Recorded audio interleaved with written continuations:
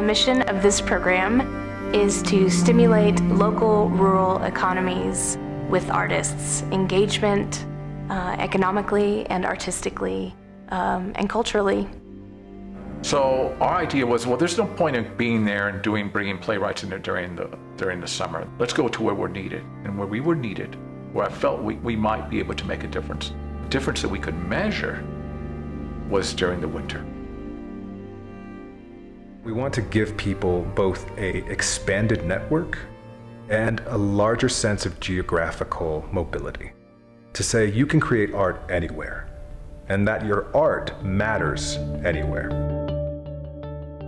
In rural America, um, in these places like tiny mountain towns that are so secluded from the rest of the country, when a dollar comes in, it circulates more than in your typical urban areas. In typical urban places, a dollar will circulate three times around.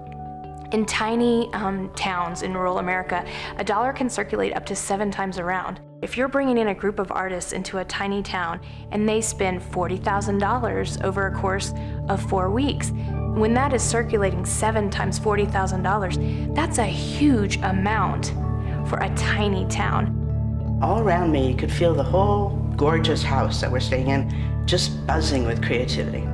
It was amazing. I've never been on a retreat like this one. In the Ojibwe language, there isn't a word for art and there isn't a word for work. That there's just this understanding that you have a responsibility to create beauty it changes the relationship between the playwright and the audience, and it makes it much more immediate.